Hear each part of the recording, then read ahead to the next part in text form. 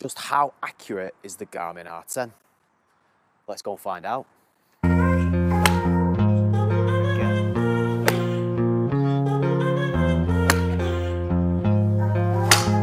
Oh, it's a long way left.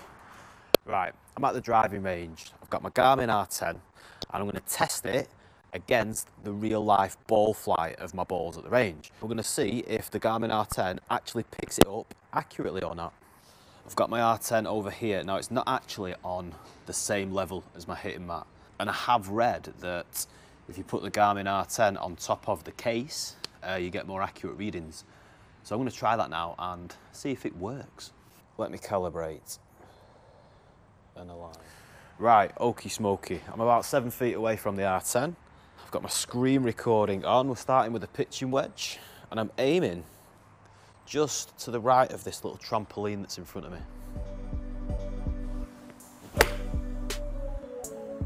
So that's a little bit right of the centre line. Four yards right, I'll take that. That's a good start.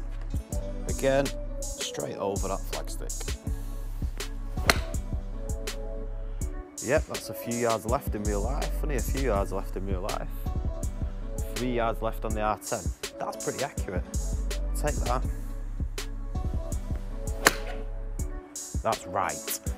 That's a fair few yards right, that. That's righter than the 150 marker. It's picked up that it's gone right. It said it's gone 12 yards right. not having that.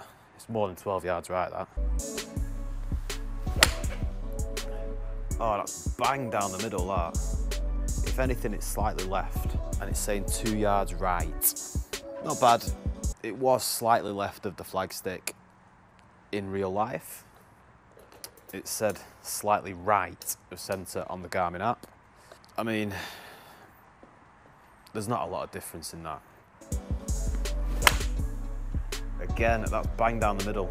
If anything, it's ever so slightly left. That's saying it's gone five yards right this time. It's not five yards right, that. It's down the middle, ever so slightly left. Now that one's slightly right. I'd say that's about five yards right. Oh, that's good, it's picked it up six yards right. Not bad with the seven iron. Oh man, that's quite a long way left of that 200 marker, so it should be a long way left on there, yeah. 29 yards left, I'd say probably more than 29 yards left in real life, to be honest. That has faded to the right, it's not far right. And that, I'd say that's picked it up nice and accurately there.